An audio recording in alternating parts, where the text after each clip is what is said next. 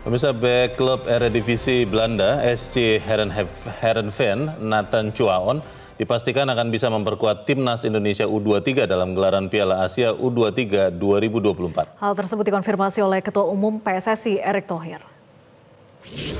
Zou je jezelf omschrijven als speler zijn?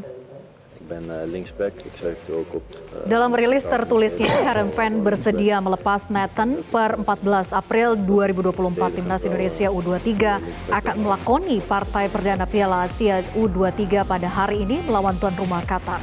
Bek kiri berusia 22 tahun itu sempat tidak masuk dalam daftar pemain yang dibawa Shin Taeyong ke pemusatan pelatihan di Dubai.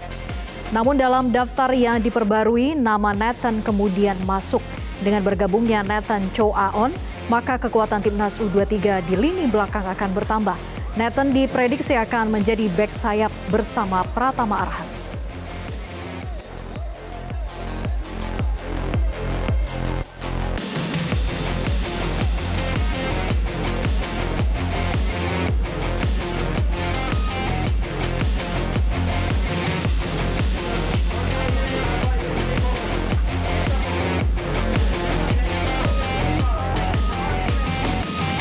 Jelajahi cara baru mendapatkan informasi. Download Metro TV Extend sekarang.